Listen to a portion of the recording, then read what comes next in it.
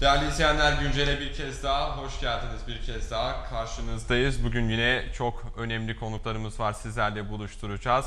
Peygamberimizi Hazreti Muhammed'i sallallahu aleyhi ve sellemi yad edeceğiz bugün ve onun sevdalılarıyla birlikte olacağız. İnşallah Peygamber Sevdalıları platformu temsilcileri stüdyo konuğumuz Sayın Abidin Gökhan ve Zeki Aras efendim hoş geldiniz. Hoş Hoş bulduk. Teşekkür Nasılsınız ederiz. efendim iyisiniz inşallah. Teşekkür ederiz. Sizleri sormalı. Teşekkür ediyoruz Allah razı olsun.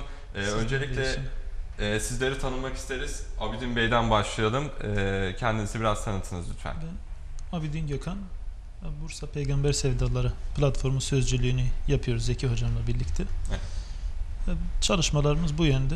Çalışmalarımızı halka anlatıyoruz, kendimize anlatıyoruz. Kendim de öğretmenlik yapıyorum o noktada. Öğretmenlik yapıyorsunuz. Zeki Bey sizi de biraz tanıyalım. Evet, ben de Peygamber Sevdalı Platformu Bursa sözcülüğünü yapıyorum. Aynı zamanda İKRADER Genel Başkanıyım. Bursa'da e, faaliyet yürüten bir STK'nın genel başkanlığını yapıyorum. E, aynı zamanda bir medya kurumunun e, Bursa temsilcisiyim. Bursa temsilcisi olarak görev yapıyorsunuz. Tabii çok önemli bir e, görev üstleniyorsunuz e, diyebiliriz. Manevi bir görev e, üstleniyorsunuz. E, öncelikle e, Sayın Abidin Bey'den e, Peygamber Sevdaları platformunu tanımak isteriz. E, ne zaman kurulmuştur? E, hedefleri, amaçları nelerdir diyelim. Tabii öncelikle Bursa TV ailesine teşekkürlerimizi ileterek başlayalım. Yani hem yaptıkları yayınlardan yayınlardan dolayı hem de birkaç yıldır üst üste hani hem etkinliğimizi böyle tanıtma fırsatı verdikleri için bir kez daha teşekkür Biz ederiz. teşekkür ediyoruz. Peygamber Sevdalar platformu ilk olarak hani ne zaman kuruldu? 2006 yılında hatırlarsanız Danimarka'da bir karikatür olayı olmuştu. Evet. İşte o karikatür olayından sonra karikatüre yüksek sesle bir tepkinin verilmesi gerekiyordu.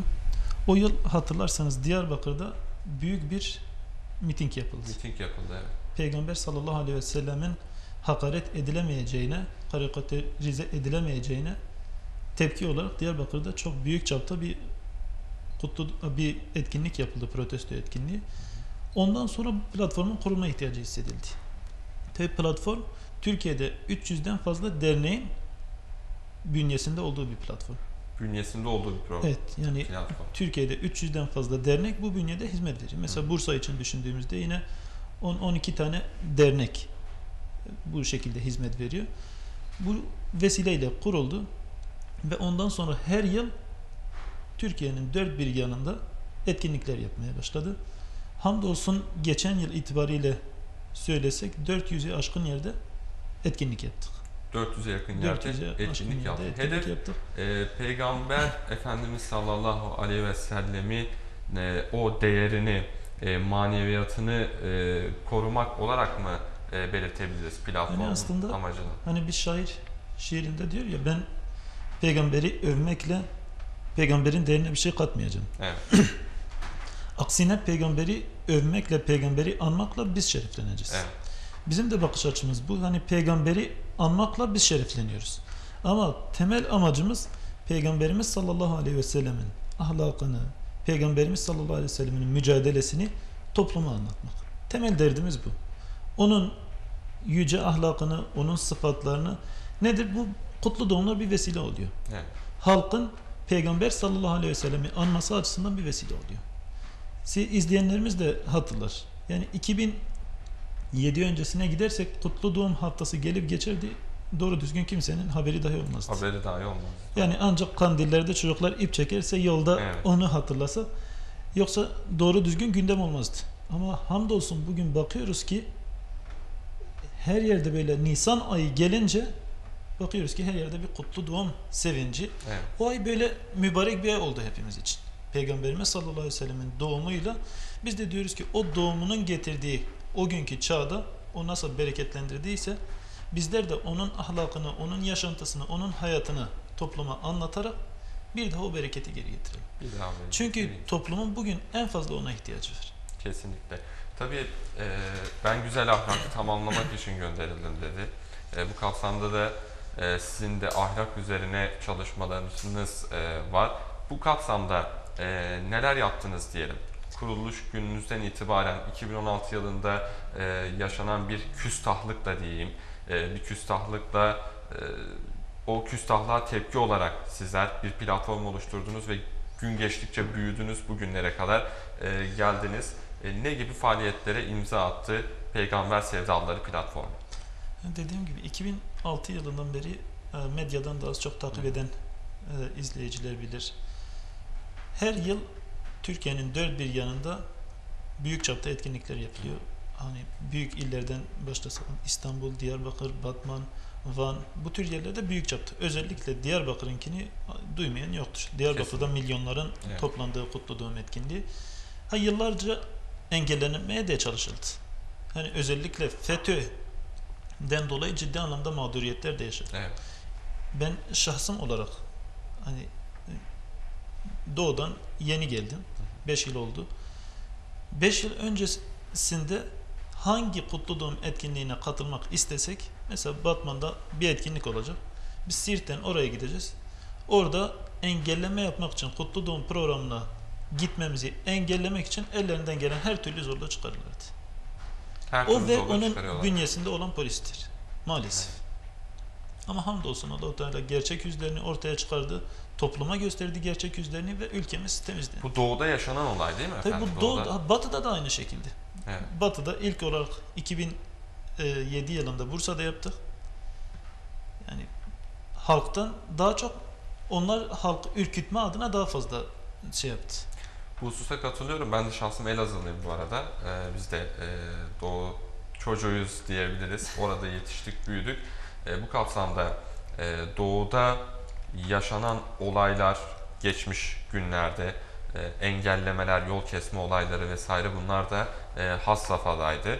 E, ve 15 Temmuz'da yaşanan bir hain darbe girişimi sonrası sizin de belirtmiş olduğunuz gibi maskeleri düştü diyebiliriz. Şimdi halkımız neyin ne olduğunu e, daha iyi anlıyor. İşte son günlerde en fazla bizi üzen noktalardan bir tanesi medyada ciddi bir algı operasyonu şu an yapılıyor. FETÖ Kutlu Doğum FETÖ projesidir diye. Bu başlı başına emin olun bunu ortaya atan da kesin bir FETÖ'cüdür. Bunun altyapısını hazırlayan nedir? Bunun altında yatan temel neden peygamber sevdasının önüne geçmek. Çünkü halkın yönelişini görüyor Evet. halkın Peygamber sallallahu aleyhi ve sellem adına yapılan etkinliklere katılımı görüyor ve bu tedirgin ediyor. Batı dünyasını da tedirgin ediyor. İslam'dan rahatsız olan her kesimi tedirgin ediyor. Bundan dolayı nasıl bir proje yapalım? Bu şu anda FETÖ hedef ya. Evet. FETÖ projesidir deyip kendi kendilerini hani ben bundan adım gibi eminim bunu ortaya atan bir FETÖ'cüdür. Böyle bir projeyle son günlerde bir gündem. FETÖ İşte kutlu, Kutlu Doğum bir FETÖ projesi. kutlu Doğum bir FETÖ projesi de sonradan e, çıkarılmıştır şeklinde. Yani Kutlu Peygamberimiz şimdi- sallallahu aleyhi ve sellem'in Yani. doğum günü belli. Evet. Ve bunun ortaya çıkış dedim ya 2006 yılından önce evet, Diyanet küçük çapta yapıyordu. Ama 2006 yıl o karikatür olayından önce doğru düzgün kimsenin gündem ettiği yoktu. Evet. Hamdolsun gündem edile edile ve diyorum ya FETÖ o gün her türlü zorluğu çıkardı. Kutlu doğumunu engellemek için her türlü zorluğu çıkardı. Ama birileri bugün ortalığı yine bulandırmak için FETÖ projesidir değil ama Cumhurbaşkanımızın da çıkmasıyla kutlu doğuma bizzat kendisinin teşvik et- Evet. etmesiyle yine Diyanet İşleri Mehmet Görmez e, Allah kendisinden razı olsun güzel açıklamalarıyla bu algıyı kırdı. Evet. Zaten bu haberi yapan haber ajansı da hemen yayınları kaldırdı. O yaptıkları haberleri. Ama insan üzülüyor.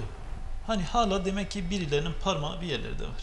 Peygamber sevdasının önüne geçmek için ya da son zamanlarda işte kutlu doğum bid'attır. Peygamber sallallahu aleyhi ve sellem'i anmaya başta dedik ya vesile olabilecek her yolu yoksa amaç hani birinin çocuğunun doğum gününü kutlamak gibi bir olay değildir. Evet. Amaç Peygamber sallallahu aleyhi ve sellemin ahlakını topluma yaygınlaştırmak, topluma yaymak. Bu vesileyle o etkinliğimize gelen, orada peygamberin hayatından bir kesiti öğrenmesi kardır. Hepimiz için kardır. Toplum adına kardır.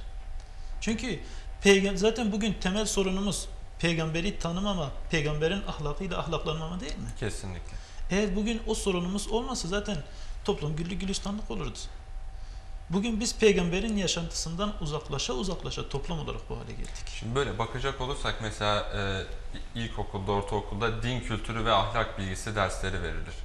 yıllardır süre gelen e, bir yanlışı da mesela şu şekilde ifade edebilirim. Bu benim şahsi görüşümdür tabii. Bize yıllarca dini öğrettiler. Din kültürü ve ahlak bilgisi şeklinde. Dini sadece öğrettiler, ahlakın da bilgisini verdiler. Yani ahlak hususunda herhangi bir yaptırım, bir uygulama, bir girişim vesaire bu yıllardır süre gelen bir e, yanlıştı diye düşünüyorum. Ahlakın sadece bilgisi verildi yıllarca toplumumuza değil Çok mi? güzel bir noktaya değindiniz. Yani bugün zaten Peygamberimiz sallallahu aleyhi ve sellem sahabeleri için bir ifade kullanıyor. Diyor onlar kör, sağır, dilsiz de olsalar insanlar onların sayesinde yollarını bulabilirdiler. Niye? Evet. Çünkü hayatlarında pratize ediyordular. Bugün toplumumuz hep hani toplumumuzda klasik bir laf vardır. İmamın yaptığını yap, dediğini yap, yaptığını yapma. Evet. Halbuki toplumun imamın yaptığını yapmaya ihtiyacı var.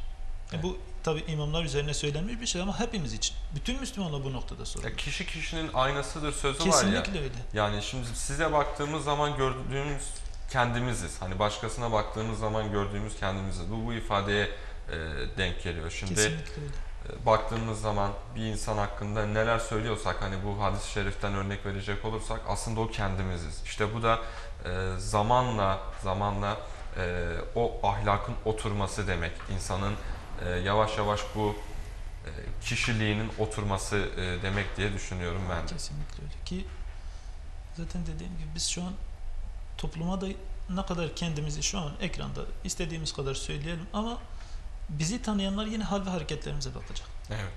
Eğer hal ve hareketlerimizle sözlerimiz birbiriyle çelişirse Allah katındaki mesuliyeti ayrı bir tarafa insanlar zaten güven duymaz. Evet. Bunun için bizim temel şeyimiz önce hayatlarımızda uygulamak, Peygamber sallallahu aleyhi ve sellemin ahlakını kendi şahsımızda da göstermeye çalışmak ve bunu topluma anlatmak.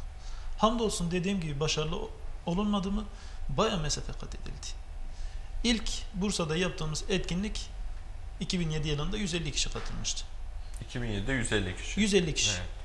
Sonra araba yatağında, emekte, değişik yerlerde yaptık. Onlar da 2000-3000 civarı katıldı. Bursa'nın merkezde 4 tane yapıyorduk. Ve son 3 yıldır baktık ki artık o tür yerlere, pazar alanlarına falan sığmıyor. 3 yıldır Gökdere'de yapıyoruz. Gökdelen. Gökdere'de de hamdolsun 10 bini aşkın insan katılıyor. Yoğun bir katılımla Peygamber sallallahu aleyhi ve sellem'i anmak bize nasip oluyor. Yani hep tabii ki toplum olarak hepimize nasip oluyor. Ama böyle bir şeye hizmet etmek bir şeref oluyor bizler için. bir şeref oluyor. Ee, Sayın Zeki Hocama geçeceğim ama öncesinde bir soru daha e, yöneltmek istiyorum sizlere. Ee, şimdi şöyle bir husus var. Sizin tabii e, tecrübeli olduğunuz için size yöneltmek istiyorum bu soruyu. Miraç kandilinin günü değişiyor da mesela Miraç kandilinin, Berat'ın, e, Regaib kandilinin günü mesela değişiyor. E, yıl geçtikçe değişiyor. Ancak e, Kutlu Doğum Haftası'nın günü sanki değişmiyor gibi. E, bunun nedenini izleyicilerimiz de hem faydalansın Hani- sizlerden açıklayabilir miyiz? Toplumda 5 tane kandil vardır. Evet. Mevlid kandili hani kameri aylarla yani hicri takvimle miladi takvim arasında 11 günlük fark var. Evet. Ve 11 gün her yıl geriye gelir. Ramazan'ı dikkat edersek her yıl 11 gün Doğru. geriye doğru geliyor. Evet. Ama Peygamberimiz sallallahu aleyhi ve sellemin doğum günü olan 20 Nisan bu kandil günü değil. Mevlid kandilini biz ayrı kutluyoruz. Mevlid Evet. kandili ayrı zamanda. O Mevlid geçiyor. kandili zaten Mevlid, peygamberimizin doğum... Hicri olarak Peygamberimiz Hicri sallallahu aleyhi ve olarak sellemin doğum gün, günü ama 20 Nisan ilk doğum günü ya. Evet. İlk doğduğu gün 20 Nisan'a denk geldiği için ondan dolayı Nisan ayı bu şekilde şereflenmiş. Biz Nisan ayını yad ediyoruz. Nisan yani ayında orada peygamberimizin o anki doğum şeyi yoksa Mevlid kandiline gidersek Mevlid kandili şu an yanılmıyorsam Ocak ya da Aralık falan denk geliyor. Ocak ya da Aralık'a denk geliyor. Doğru. Yani bundan dolayı hani toplum öyle kafası karışmasın. Mevlid hicri takvimle miladi takvimin günlerinin farklı olmasından kaynaklanan. Yani Evet. Ramazan nasıl ki her yıl farklı tarihlerde 11 gün geri geliyorsa aynı şekilde onlar da geri geldiği için farklı günlere denk geliyor. Ondan dolayı böyle bir karışıklık varmış gibi gözüküyor ama öyle bir karışıklık Öyle yok. bir karışıklık yok diyorsunuz. Teşekkür ediyorum vermiş olduğunuz cevaptan dolayı. Zeki Hocam, e, tabii siz de bu hususun, bu sorumluluğun Bursa kısmında yer alıyorsunuz. Ee, Evet. Bursa'da hizmetler e, gerçekleştiriyorsunuz. Sayın Hocam 3 yıldır sanıyorum demiştiniz. Ee, Gökdere'de 3 yapılan e, Kutlu Doğum etkinliği. Bu yılda yapılacak aynı şekilde. Şimdi geçmiş yıllara böyle biraz gidelim. Gökdere'yi biraz bize anlatın neler yaşandı etkinlikte. Tabii. E, 2007 yılından beri ben Bursa'dayım e, Aykut Bey. E, 2007 yılından e, 2017 yılına kadar e, yaşanmış olan e, bütün kutlu doğumları hemen hemen gördüm. Bir 2009-2010 e, kutlu doğum hariç diğer bütün kutlu doğumları gördüm. Ve bütün çalışmalarına vakıf e, olan birisi olarak söylüyorum. E, Abidin Hocam da bahsetti zaten 2007 yılında yaptığımız bir e, etkinlik e, Yavuz Selim'de bir düğün salonundaydı. Evet. E, toplamda 150 kişinin katılımı, 300 polisin gözetiminde gerçekleşmiş olan bir kutlu doğum etkinliğiydi. E, tabii e, o zamanlarda e, garip karşılanıyordu. Yani hocamın da dediği gibi e, kutlu doğum etkinliği yapmak da ne? Yani öyle bir şey mi var diyenler bile çıkıyordu. Ancak e, bu algıyı kırmak gerekiyordu. Yani biz bir şekilde günlerimizi elimizden alan Batı'nın elinden günlerimizi geri almak zorundaydık. Evet. Yani sevgililer günü derken elimizden aldılar. İşte falan günü filan günü, evlilik günü, doğum günü diyerek elimizden aldılar. Bu günleri tekrar geri almak zorundayız. Evet. E, yılın 365 gününü tekrar Müslümanların günleri olarak ilan etmek zorundayız. Ve bu günlerden bir tanesi de biraz önce bahsedildiği üzere Nisan ayında yaptığımız Kutlu Doğum etkinliği. Sonrasında 2008 yılında Barış Manço Kültür Merkezi'nde bir etkinlik yaptık. Orada biliyorsunuz Barış Manço'nun kapasitesi işte 400 kişi. Hamdolsun e, salona sığmadılar zaten. 600 kişinin katılımıyla gerçekleşmişti o zamanki etkinliğimiz. Tabii her geçen gün e, ivmemiz biraz daha yükseliyordu. Çıta biraz daha yükseliyordu. 2009 yılında e, Yavuz Selim'de bir e, spor kompleksinde yaptık biz bu etkinliği. Yaklaşık 3000 kişinin katılımıyla gerçekleşti bu sefer. Çıtamız yine yükseliyordu. 2010 yılında e, İsa Bey'de bir düğün salonunda yapmayı planladık. Ancak yine FETÖ'cü polislerin e, komplosuyla iptal edildi son dakikada. Etkinliğimizi orada yapamamıştık ama yılmadık. Mayıs ayında bu etkinliğimizi yapabildik. Nisan ayında izin verilmeyen etkinliği Mayıs ayında yaptık. Amaç peygamberi anmaksa Nisan ayı bahanedir. Evet. Amaç peygamberi anlatmaksa Nisan ayı bahanedir. Biz her halükarda peygamberi anacağız ve anlatacağız. Ve Mayıs ayında e, kent meydanına yakın bir düğün salonunda yine o etkinliğimizi gerçekleştirdik. 2011 yılında ilk defa meydana çıktık. Yani dedik ki artık kapalı alanlar bizim için e, sınırlandırıcı. Dört duvarın arasından çıkmamız lazım. Ve bizim sesimizi etkinliğimize gelmeyenlerin de duyması lazım. Dedik 2011 yılında e, Bursa Cumartesi Pazar alanında, araba yatağında, açık alanda etkinliğimizi yapma girişiminde engellerle karşılaştık. Yine bu bahsettiğimiz yapının polisleri tarafından yapamazsınız dedi. E, o alanda kutlu doğum etkinliği yapılamaz. Neden, neden efendim? Yok orası pazar alanı. İyi de var mı bir mahsuru? Yok. Falan örgüt orada Nevruz yapabiliyor mu? Yapabiliyor. O zaman peygamber de anılabilecek kardeşim dedik. Zorluk çıkardılar. Bütün pazar alanına biz bariyer kuramayız dediler. Biz yaparız kardeşim dedik. Ve bütün pazar alanı yaklaşık 5000 metrekarelik alan tamamını çit çevirdik. Peygamberi anlatmaktır derdimiz yani amacımız o. Ve hamdolsun yaklaşık 7-8 bin insanın katıldığı ilk meydan kutlu doğum etkinliğimizi gerçekleştirmiş olduk. Daha sonra dedik ki bu da yetmiyor. 2012 yılında e, hem cumartesi pazar alanında hem de Emek'te yaptık. Yine e, pazar alanında yaptık etkinliğimizi. 2013 yılında 3 ayrı yerde yaptık etkinliğimizi. 2014 yılında e, İsa Bey pazar alanı, Araba Yatağı pazar alanı, Hamitler pazar alanı ve Emek pazar alanı olmak üzere 4 ayrı noktada etkinliğimizi yaptık. Tabii bunların sayısal e, verilerini çıkardığımızda sayılar 20 bin 30 bini aşıyordu. Evet. Daha sonrasında ise e, 2015 yılında işte özellikle arzuladığımız e, Gökdere Meydanı'na taşıdık kendi programımızı. Çünkü artık pazar alanları da yetersiz kalıyordu. Ve dedik ki şehrin göbeğinde olması lazım bu etkinliğin. Zira Allah Azze ve Celle peygamberlerini gönderirken şehrin metropol şehirlerin en merkezi yerine gönderiyordu peygamberlerini. Biz de öyle düşündük. Dedik ki yıllardır siyasi partilerin vaatleriyle işte emelleriyle e, kirletilmiş bir meydanı Peygamber Aleyhisselatü Vesselam'ın ismiyle temizleyeceğiz. Ve ilk defa 2015 yılında Bursa'da bir ilki gerçekleştirdik. 2015 yılında Gökdere Meydanı'nda yaklaşık 10 bin insanın katılımıyla e, Kutlu Doğum mitingi gerçekleştirmiş olduk Gökdere Meydanı'nda. E, 2016 yılında yine Gökdere'yi tercih ettik. Çünkü o katılımı, halktan olan ilgiyi gördük. 2016 yılında hatırlarsanız geçen yıl her tarafta Türkiye'nin maalesef her köşesinde bombalar patlıyordu. Ve Türkiye üzerine bir kaos planı vardı. Belki 15 Temmuz'un adımlarıydı bunlar.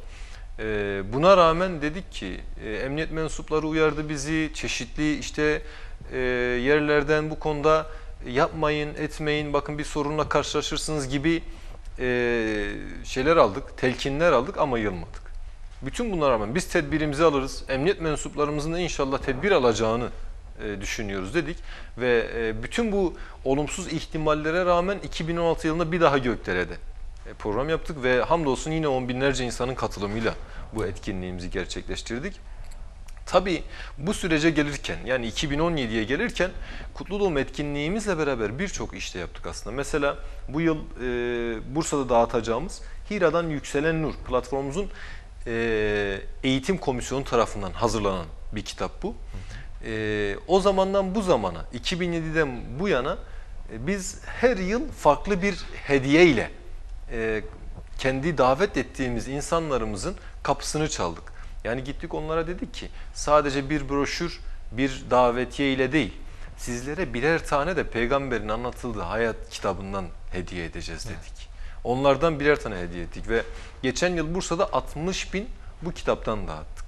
60 bin adet. 60 bin ücretsiz ve 200 tane gencimiz kapı kapı gezerek yani her biri iş yerinden izin alarak, öğrenci kardeşlerimiz işte e, öğretmenlerinden izin alarak kapı kapı geziyorlar. Şu anda bile Bursa'da biz burada program yapıyoruz. Kardeşlerimiz pazar günün hazırlığını yapıyorlar ve bu yıl inşallah Bursa'da 40 bin ücretsiz bu kitaptan dağıtacaklar. İnşallah. E, bu vesileyle de 2017 yılının e, Kutlu Doğum etkinliğini inşallah Bursa Gökdere Meydanı'nda gerçekleştirmiş olacağız. gerçekleştirmiş olacaksınız. Bir sonraki yıl hususunda da buradan şimdi sayın yetkililerimize e, seslenelim. Biliyorsunuz çok kocaman bir meydan yapıldı Bursa'mıza. Atatürk Evet. Stadyumu'nun bulunduğu alana. Atatürk Stadyumu meydanı e, oldukça geniş ve ferah hale geldi. İnşallah bir sonraki programımız da oraya nasip olur İnşallah. diyelim. Buradan e, yetkililerimize de e, bir şekilde seslenmiş olalım, sesinizi duyurmuş olalım. İnşallah. Tabii çok e, muazzam projeler. Bunun dışında zorluklar yaşadınız. Birçok badireler atlattınız. Zaten badire atlatılmadan da bazı şeyler kat edilmiyor. Kesinlikle. E, bu herkes için geçerli olan bir durum. E, şu şekilde bir soru yöneltmek istiyorum sizlere. Peygamber Efendimiz sallallahu aleyhi ve sellem şu günümüz itibariyle tam manasıyla anlatılabiliyor mu Türkiye'de? Sayın Abidin Hocam. Valla peygamberi desek tam anlamıyla kimse anlatamaz. Evet. Orası bir gerçek. Çünkü zaten Kur'an'ın da tabiriyle o mükemmel bir ahlak üzerine. Evet. Biz anlattığımızda onun bir yönünü, bir parçasını anlatıyoruz ki milyonlarca kitap belki onun adına basılmış. Ama her biri bir yönünü anlatıyor. Bizler de her yıl Peygamber sallallahu aleyhi ve sellemi anlatmak için bir yönü tercih ediyoruz. Evet. Bu yılda hak ve adalet rehberi Hazreti Muhammed adıyla bir tema yayınladık. Çünkü dedik ki en fazla ihtiyaç duyduğumuz noktalardan bir tanesi Hak ve adalet. Hak ve adalet. Çünkü özellikle günümüzde adalet noktasına o kadar çok ihtiyaç var ki adaleti çözdüğümüzde aslında birçok sorun çözülmüş olur. Kendiliğinden hal olmuş olur. Ki Peygamber sallallahu aleyhi ve sellemin bu noktadaki hassasiyetlerinden bir iki örnek Tabii, e, verecek olursam. Bir gün Fatıma adında bir kadın hırsızlık yapıyor. Bir iki aracı koyuyorlar araya ki Peygamberimiz sallallahu aleyhi ve sellem bunu affetmesi için. Evet. Yani eli kesilecek. Affetmesi için araya aracılar koyuyorlar. Peygamberimiz sallallahu aleyhi ve sellem çizgisi net. Vallahi diyor bu benim kızım Fatıma da olsa yine hüküm uygulanacak. Evet. Şimdi günümüzde zaten bu güzel çizgileri yakalasaydık aslında hiçbir şey olmayacak. Sorunumuz Yine olmayacak. Bedir'de esirler arasında amcası Hazreti Abbas. Evet. Bütün esirler için fidye isteniliyor. Tabi sahabeler bakıyor peygamberimizin amcaoğlu. Amcası pa- pardon. Amcası esirler arasında. Ya Resulullah diyor bunun fidyesini almasak mı? Hayır. Diyor diğer esirlere ne uygulanıyorsa bu benim amcam olması fark etmiyor. Ama günümüzde maalesef yöneticilerin e, beceremediği konu bu. Evet. Yani bir akrabasını orada işe alır, bir akrabasına orada e, bir proje verir, diğerine bir iş filan derken adalet noktasını kaçırıyoruz. Adalet noktasını kaçırdığımızda da ipin ucunu orada kaçırdığımızda sorunlar başlıyor. Sorunlar başlıyor. İşte bu yılda onun için de ilk Peygamberimiz sallallahu aleyhi ve sellemin hak ve adalet yönünü biraz daha ön plana çıkaralım ki Maide suresi 42. ayette de yine buyuruyor. Diyor Yahudi ve Hristiyanlar için. Diyor onlar sana geldiğinde sen onlar arasında adaletle hükmettin. Evet. Yani bunu Yahudi ve Hristiyanlar için dahi söylüyor. Öyle mükemmel bir dine sahibiz ama günümüzde biraz bu düsturlardan uzaklaştık. Amacımız topluma biraz daha bu düsturları anlatmak. Bu düsturları Bunları hatırlatmak. Çok güzel bir ayette de örnek verdiniz. Ben teşekkürlerimi e, iletiyorum sizlere. Hak ve adalet e, konulu e, bir etkinlik olacak. Peki e, Sayın Zeki Hocam, katılanların duygularından biraz bahsetmek lazım. E, oraya gelen tabii vatandaşlarımız oluyor. Ne gibi tepkiler alıyorsunuz bu programlardan sonra? Evet. Aslında insanlarımız bu gibi programlara biraz yabancı. Halen e, birçok noktada e, insanlara ulaşmakta sıkıntı çekiyoruz. Ancak e, güzel bir noktadan güzel bir soru sordunuz. Gelen insanların tepkileri o kadar güzel ki. Yani daha önce neredeydiniz diyenler çıkıyor. Evet. E, peygamberi bizler sadece camilerde işte tamam olması gereken ancak meydanlarda hiç duymamıştık. İşte e, yüksek kolonlu, yüksek sesli e, meydanlarda hiç peygamberi anmamıştık, anlatmamışlardı diyenler oluyor. Mesela e, bir kardeşimizin görmüş olduğu bir rüyadan bahsedelim. Diyor ki Peygamber aleyhissalatü vesselam yani e, bizzat bu etkinliğe gitmemiz yönünde bize e, teşvikte bulunmuştu. Rüyama gelmişti. Muhakkak gidin katılın diyorum. Ben Rüyasında de gördü vatandaş. Evet rüyasında görüyor Peygamber Efendimiz'i ve diyor ki gidin katılın. O gün işim vardı diyor. E, katılmayı düşünmüyordum. Ama peygamber rüyama geldi ve muhakkak gidip katılman gerekiyor dedi. Vallahi diyor o yüzden kalktım bu etkinliğe geldim. Maşallah. E, bu gibi ve buna benzer halkın aslında duygu ve düşüncelerini e, aynı zamanda biraz da medya içinde olduğum için iyi e, hissedebiliyorum, görebiliyorum. Çoğu zaman kardeşlerimizin yapmış olduğu röportajlardan işte dinleyebiliyoruz ve gelenlerin tepkileri e, sürekli iyi yönde hamdolsun ve daha fazla insana ulaşmamız gerektiğini söyleyenler oluyor. E, bazıları keşke birkaç yıl öncesinden tanımış olsaydım sizleri, bu etkinliklerinizi çok daha öncesinden görmüş olsaydım diyenler oluyor.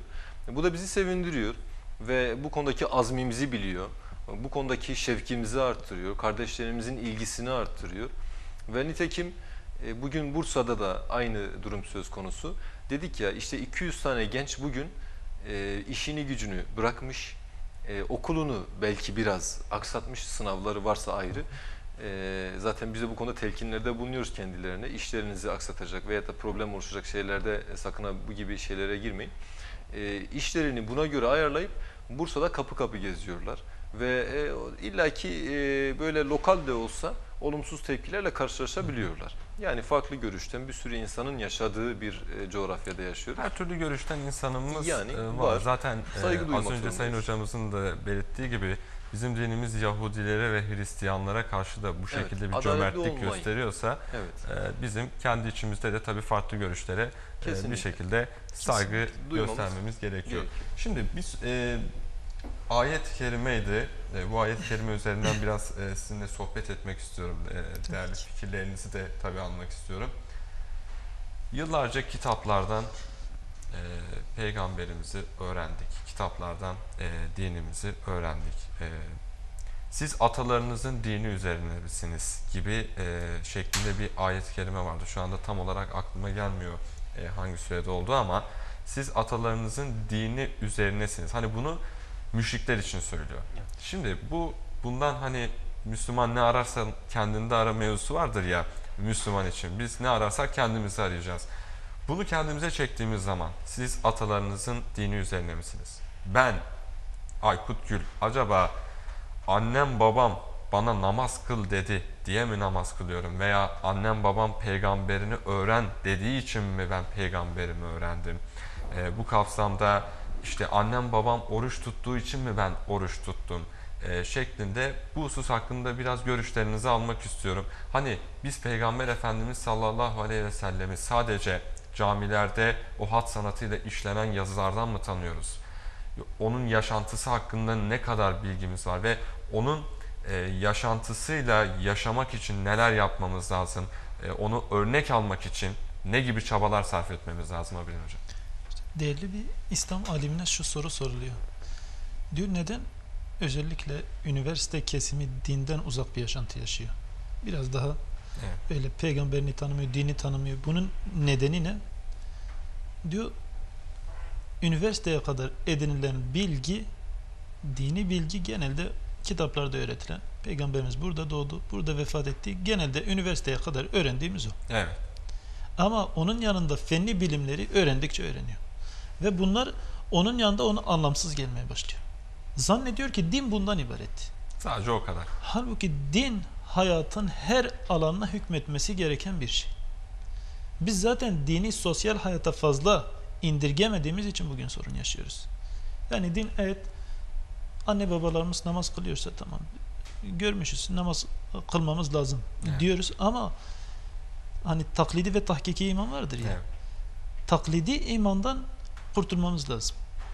Yani bugün anne babam evet, elbette ki yaptı diye çocuk onu örnek alacak ama anne babanın bugün en büyük mesul sorumluluğu çocuğuna dini güzel bir şekilde öğretmek sadece peygamberimiz burada doğdu burada vefat etti değil.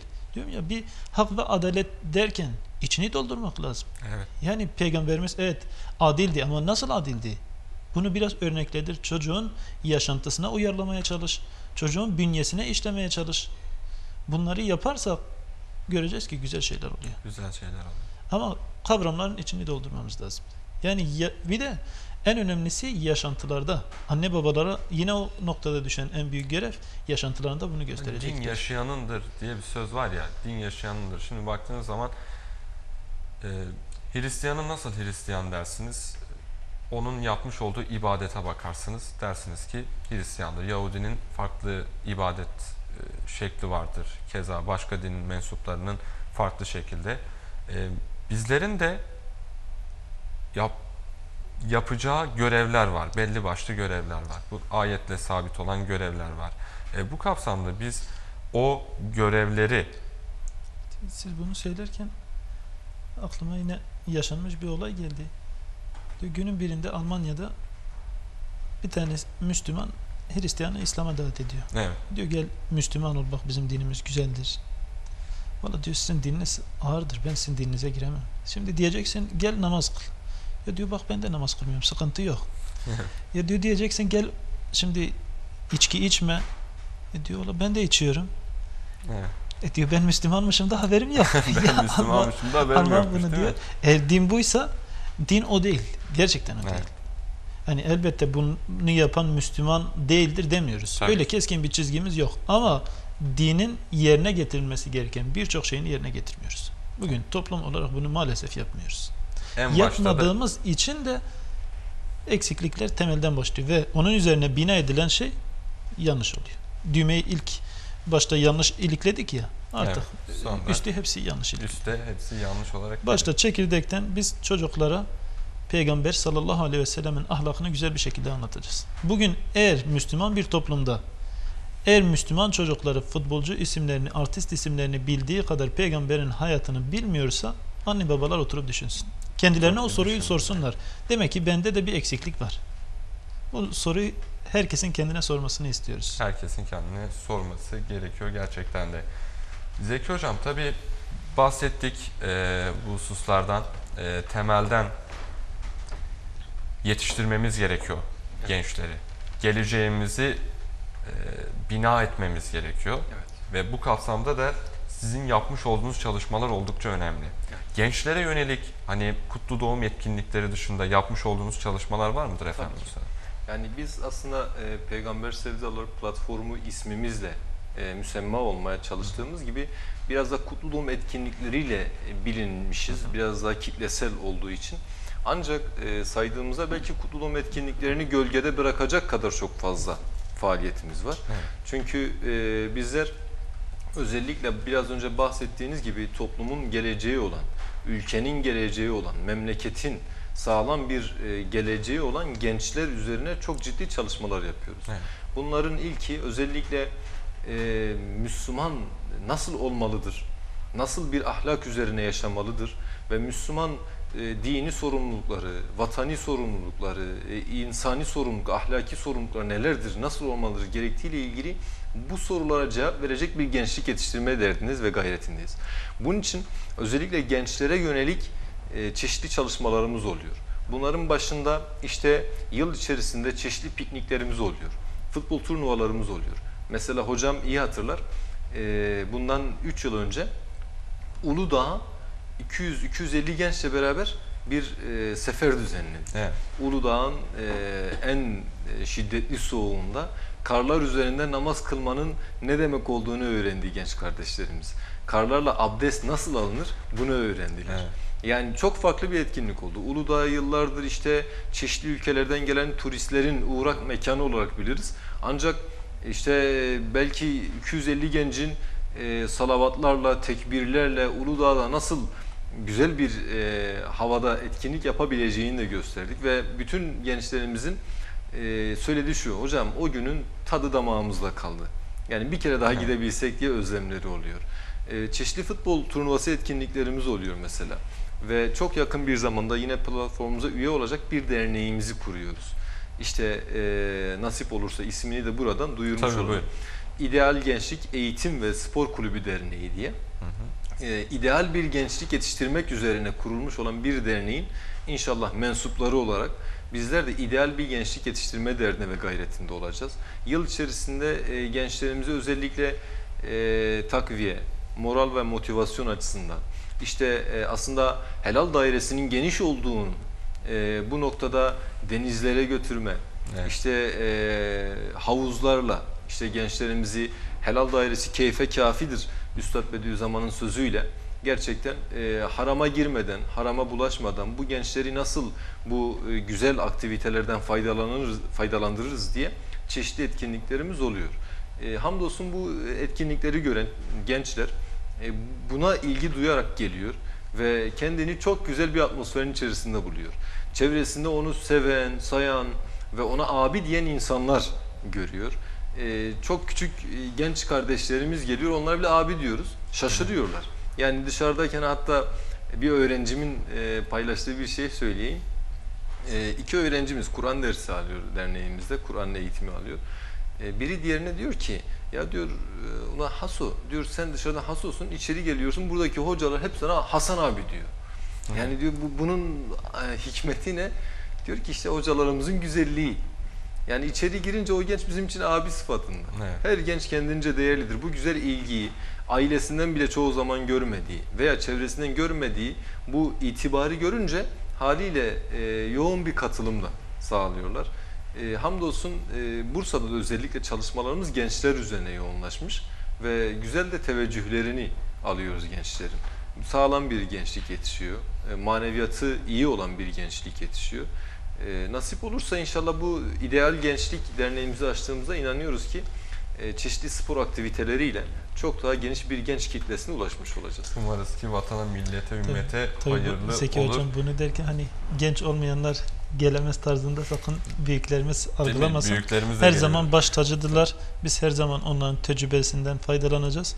Ama gençlik enerjidir. Sen Evet. bir enerjiyi nereye kanalize edersen orası ona göre şekillenir.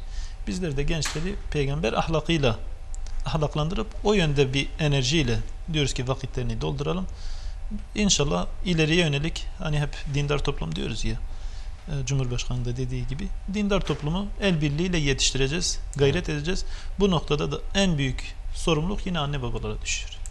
Tabii ki okulun merkezi değil mi efendim? Ailelerimiz, birinci Kesinlikle. okulumuz. Ee, onların yanında, onların elinde büyüyoruz ve bir şeyler öğreniyoruz. Tabii e, gençlerimiz özellikle son dönemlerde ne yazık ki haber merkezlerimize de kötü kötü haberler geliyor.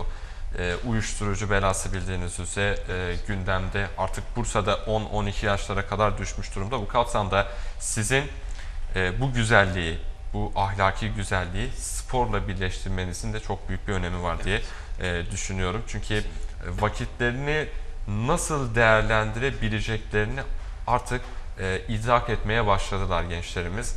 Hani e, gidip gezip farklı kötü maddeler kullanmak yerine e, spora yönelik e, bir şeyler yapabileceklerini fark ettiler. Bu da oldukça önemli. Sizin dışınızda tabii Büyükşehir Belediye'miz, Valiliğimiz de e, birçok projeye imza atıyor bu kapsamda. Son olarak son 5 dakikamız içerisine girdik e, programımızda. Şuna kısa bir değinmeden e, geçemeyeceğim. E, programın özeti olsun diye söyleyeceğim bunu da. E, din, tartışma veya farklı algılar için inmedi diye düşünüyorum. Hani şu anki e, hususta dindarlarımıza, daha doğrusu dindar geçinen kesime bunu belirteceğim. Hani bir arabaya binersiniz, kapıyı kapatırsınız, anahtarı takarsınız kontağa. Çalıştırmazsanız araba gider mi? Gitmez. Dolayısıyla şu anki toplumumuzun büyük sorunlarından biri de bu. Yapmadan, marşa basmadan arabanın nasıl gittiğini anlatmak. İleriki yolu anlatmak. Şurada viraj var demek vesaire. Şu anki toplumumuzun ne yazık ki en büyük hususu bu. Dini tartışıyoruz. Dini tartışan bir toplum haline geldik. Bu vardır, bu yoktur, şu vardır, bu vardır şeklinde hususlar var. Din yaşamaktır değil mi efendim Sayın Abidin Hocam? İşte bunu Muhammed Gazali'ye soruyorlar. Değerli bir İslam alimidir. Diyor hocam böyle keskin biri soruyor. Hani toplumda maalesef o keskinler de var. E, Önüne gelene kafir diyen iki ayet okuyup hüküm biçmeye çalışan soruyor. Diyor namaz kılmayanın hükmü nedir hocam? O da ondan şey bekliyor. Hani namaz kılmayanın hükmü boynu vurulmaktır. O cevabı bekliyor. Namaz kılmayan birisine hükmü sen gidip ona güzel bir şekilde namaz öğreteceksin. Evet. Hüküm bu. Müthiş bir çizgi, müthiş bir cevap ve toplumun her kesiminden aslında uygulanması gereken bir cevap. Bugün insanlarımız farkında değil. Bugün toplum yüzyıllarca uygulanan politikalarla zaten cahil bırakıldı. Evet. Dininden uzaklaştırıldı. Bugün bizlerin tekrar silkinip İslamiyet'te olan müthiş değerlere sarıldığımız zaman göreceğiz ki aslında yine dünya hükmeden bir toplum haline gelmişiz. Evet. Ama özümüze dönmemiz lazım. Özümüze dönmemiz Yani lazım. bizler kalkıp bütün bu enerjimizi, vakitimizi eğer hepsini sanal alemde boş şeylerle geçirirsek o gençlik düzgün yetişmez. Ama bu gençlik büyüklerine nasıl davranacağını, ahlakı güzel bir şekilde bilirse, peygamberini güzel bir şekilde tanırsa Allah'ın izniyle farklı bir gençlik olur. Sayın Hocam çok teşekkür ediyorum Ben teşekkür programımıza ederim. vermiş olduğunuz katkılardan dolayı. Zeki Hocam son sözlerinizi alalım sizin de. Size de. Allah razı olsun. Yani e, iki yıldır Bursa TV ekranlarında e, özellikle e, bu güzel programlarla birlikte oluyoruz. E, son sözlerimi Bursa TV ailesine teşekkür ederek e, bitirmek istiyorum. Rabbim inşallah e, çalışmalarınızı artırsın. E, güzel işlerde, hayırlı işlerde inşallah çalışmalarınızı bereketlendirsin. Allah razı olsun. güzel yayınlarda tekrar buluşmak dileğiyle diyorum. Çok teşekkür ediyorum efendim. Ben de Biz sizlere. teşekkür ederiz. Değerli izleyenler, Peygamber Sevdaları platformundan iki güzel insanı ağırladık bugün. Ee, güzel hususlara değindik diye düşünüyorum. Ee, son olarak şu hatırlatmayı e, yaparak programımızı noktalayalım. 30 Nisan'da Gökdere Meydanı'nda Kutlu Doğum etkinliği var efendim. Tüm halkımız, tüm Bursalılar da bu etkinliğe davetlidir şeklinde bir ifade kullanalım ve günceli burada noktalayalım. Gözünüz Bursa TV'de, kulağınız Sancak Efendi olsun. Hoşçakalın.